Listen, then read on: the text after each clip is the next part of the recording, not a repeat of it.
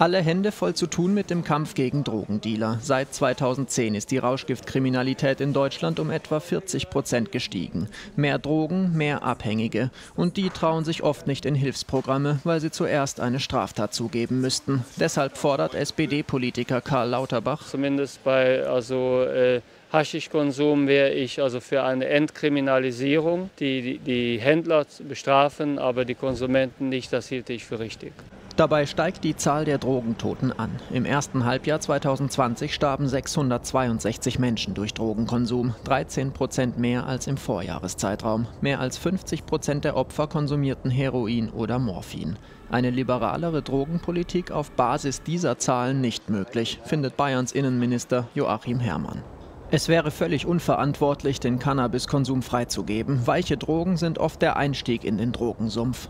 Allerdings zeigen einige Länder, dass es durchaus eine Lösung sein könnte. In Portugal ist der Besitz gewisser Mengen weicher und harter Drogen seit 2001 entkriminalisiert. Nur noch eine Ordnungswidrigkeit wie Falschparken. Die Anzahl der Drogentoten hat sich seither halbiert. Die Drogenpolitik in Deutschland beruht auf Prävention und Strafverfolgung. Auf der einen Seite richtig, finden Therapieforscher. Aber trotzdem sind äh, Maßnahmen, die die Konsumentinnen und Konsumenten aus der Kriminalisierung herausholen und es ihnen ermöglichen, niedrigschwelliger Hilfe anzunehmen, sicherlich etwas, was helfen kann.